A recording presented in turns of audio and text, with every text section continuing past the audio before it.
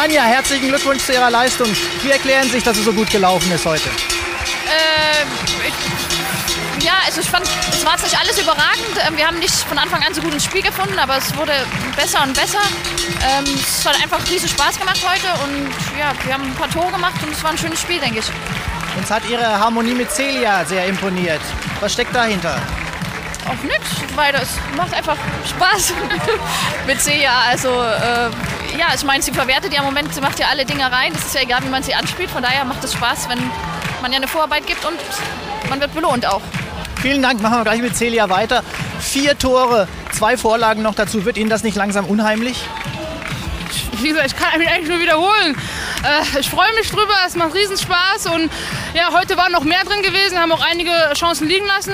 Aber ich denke, dass es vor allem auch in der Zusammenarbeit mit Anja und mit auch den anderen Stürmern sehr gut geklappt hat und wir wirklich äh, ja, sehr konsequent dann auch zusammengespielt haben. Ja, klar. Wir haben gesehen, dass Sie sich ein bisschen den Arm gehalten haben oder die Schulter. Sind Sie leicht verletzt?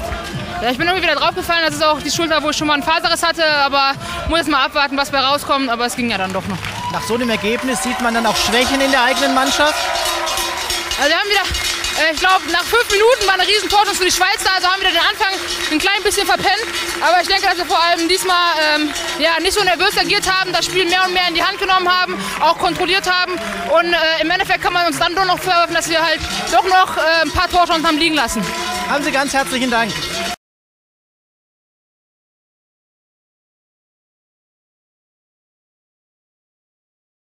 Gut gespielt, Alexandra Popp. Maroschan winkt in der Mitte, aber Bresoni kommt! Tor nach 46 Sekunden. Schöne Grüße aus Bielefeld. Poppi, jetzt mal, ja, so geht's doch. Na bitte, die zwei aus der U20. Setzt jetzt Akzente. Gut gemacht von Maroschan. Super, Tor, Tor, Tor. Und was für ein Geschenk ist, aber es wurscht. Nehmen wir auch.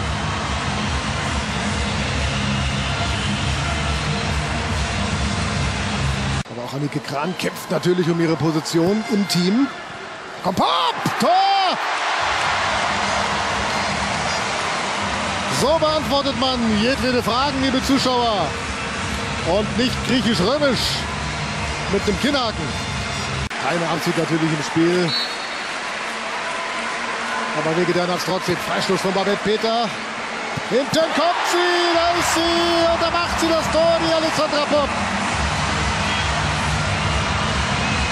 Bielefeld ist einfach ihr Wetter. Jetzt die Ecke. Und Tor! 1 zu 0 für den FC Bayern München. Und vielleicht die Möglichkeit zum 2 zu 0. Rudelic. Und Tor! 2 zu 0. Desiree Schumann geschlagen. Der neue DFB-Pokalsieger heißt FC Bayern München. 2 zu 0, Ivana Rudelic. Wie lange ist im Spiel? 60 Sekunden? Vielleicht? Alles richtig gemacht, Herr Wörle. Gratulation. Sigi Dietrich ist hier. Herzlich willkommen, Manager des ersten FFC Frankfurt. Ein großer Macher im deutschen Frauenfußball. Und das hier ist eine schwarze Stunde für den deutschen Frauenfußball? Äh, ich weiß nicht, eine schwarze Stunde kann man eigentlich nicht sagen. Wenn ich hier im Rundum schaue, 50.000 Zuschauer, das ist einfach sensationell. Und äh, beide Mannschaften haben heute versucht zu gewinnen. Äh, Lyon ist sicherlich der Sieger des Jahres, das muss man ganz klar sagen. Potsdam geschlagen, Äh, Frankfurt geschlagen. Das muss man sagen, ja, genau. Und äh, unsere Mannschaft hat es versucht, hat äh, früher einen Elfmeter bekommen und ähm, hat es einfach nicht mehr geschafft, dann zwingend äh, auch ein Tor zu schießen und die Chancen herauszuspielen, die dafür nötig sind. Dann wollen wir mal kurz hören, was Ihre Mannschaft äh, selbst dazu sagt. Sandra Smisek bei Nick Golücke. Ja, eine tief traurige Sandra Smisek natürlich. Der dritte Titel, der letzte Titel, der es hätte sein können, ist auch futsch. Ist ein Albtraum heute ein bisschen Wirklichkeit geworden. Ja, kann man schon so sagen. Ähm, Wir haben die Woche natürlich sehr akribisch auf diesen Tag äh, hingearbeitet und waren voll fokussiert und wollten natürlich wenigstens diesen und den größten Titel äh, holen und nach Frankfurt holen. Was ist passiert beim ersten FFC? Der Kader nominell sehr, sehr stark und dennoch erreichen Sie Ihre Ziele nicht. Woran liegt's? Ja, ist jetzt äh, schwer zu beantworten. Wir haben natürlich einen hochqualitativen Kader. ähm, Aber wenn man jetzt in so Spielen wie heute keine Tore schießt, dann kann man eben auch keine äh, Finals gewinnen. Das war auch äh, gegen Bayern schon so. Und ja, das müssen wir jetzt in Ruhe analysieren und gucken, dass wir uns äh, punktuell verstärken für die nächste Saison. Und dann müssen wir von vorne angreifen. Viel Erfolg dabei. Danke, Sandra Smisek.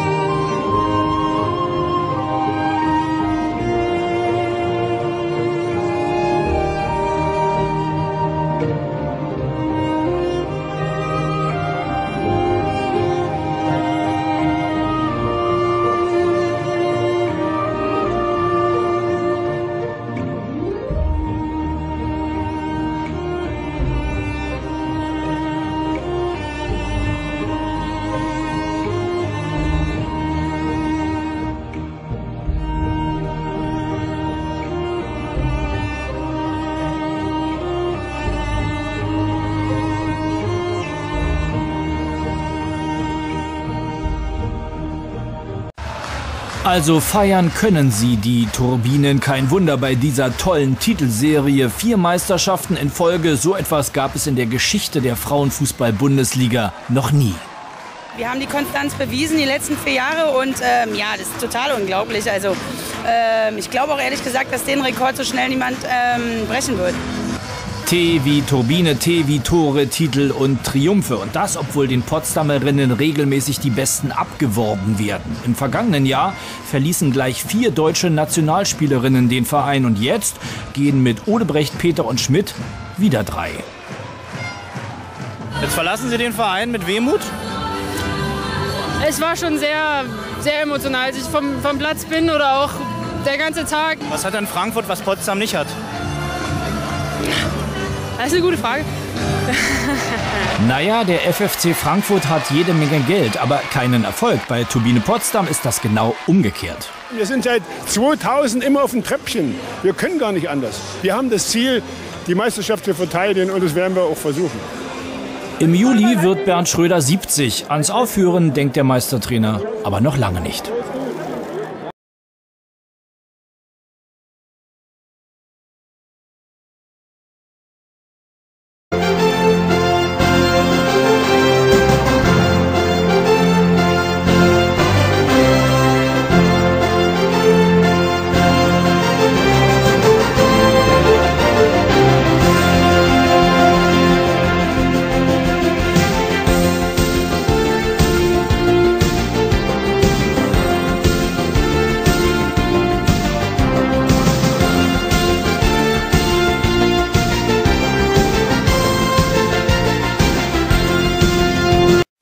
2000 Zuschauer, darunter DFB-Direktorin Steffi Jones, verfolgten die Partie im neuen Mühlenstadion von Behlen. Und ihr, Conny Polas, der Spielerin mit der Rückennummer 9, gelang der entscheidende Treffer bereits in der ersten Halbzeit. Bei schwülem Wetter und immer wieder einsetzenden Regenschauern waren beide Teams zunächst darauf bedacht, nicht schon zu Beginn kapitale Fehler zu machen. Allerdings gelang dies nicht immer. Der Rasen, er war rutschig und so fiel die Ballkontrolle natürlich nicht immer leicht. Gleich zu Beginn der Partie wurde das deutlich Glück für das deutsche Team in dieser Szene, dass dieser Querschläger der deutschen Rechtsverteidigerin nicht bei der südkoreanischen Sturmspitze landet. Das hätte mit ein bisschen Pech auch ins Auge gehen können.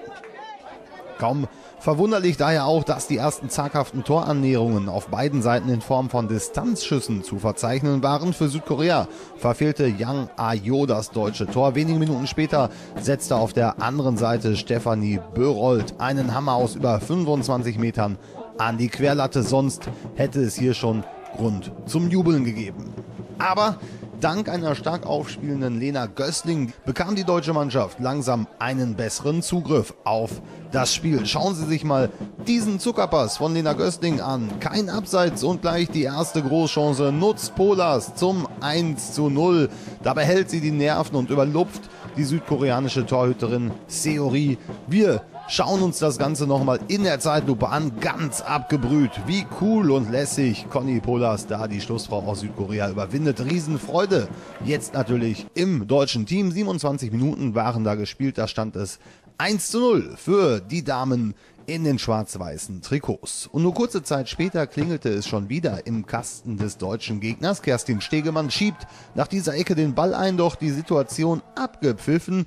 Und in der Zeitlupe wird es deutlich, Stegemann hatte da unerlaubterweise die Hand benutzt, der Treffer daher völlig zu Recht aberkannt. Südkorea versuchte zu antworten, aber Jung Ayo verzweifelt bei diesem Eckball an der deutschen Abwehr der Schussversuch abgeblockt. Dann war Halbzeit unser Reporter Uli Gutzian nutzte die Chance und schnappte sich Steffi Jones zum Interview, auch um die Frage zu klären, Militär-WM und Nationalmannschaft, wo liegt da eigentlich der Unterschied? Also generell ist das ja hier eine Militärweltmeisterschaft, also ist es auch das größte Turnier, was die Soldatinnen spielen können. Und ich glaube, das ist schon toll, dass wir sie einerseits in Deutschland austragen dürfen und dass dann auch noch die deutsche Mannschaft im Finale heute steht, ist umso schöner, weil das der einzige Tag war, wo ich kann und deswegen freut es mich umso mehr. Ähm, ist denn für auch für Sie Zeit, äh, vielleicht mal das ein oder andere Talent äh, da noch rauszukristallisieren?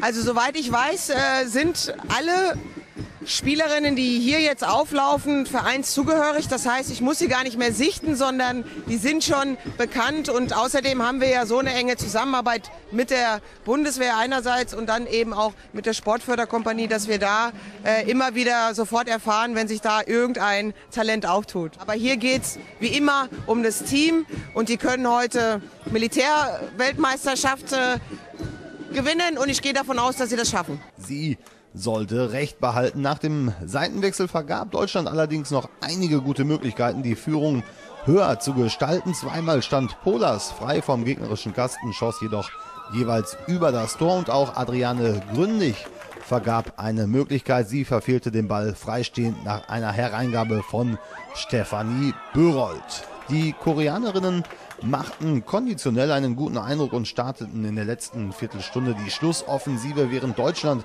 auf der anderen Seite versuchte über lange Bälle zum Erfolg zu kommen, da die deutsche Mannschaft um Marlene Kowalik und Jenny Napirai sicher stand, wurde die knappe 1 zu 0 Führung der deutschen Mannschaft ins Ziel gerettet. Nach 90 Minuten war dann Schluss und der Jubel erkannte jetzt natürlich keine Grenzen mehr. Die deutschen Spielerinnen hüpften im Kreis und zeigten, dass sie auch, was das Feiern betrifft, weltmeisterliche Qualitäten besitzen. Wir hören mal rein.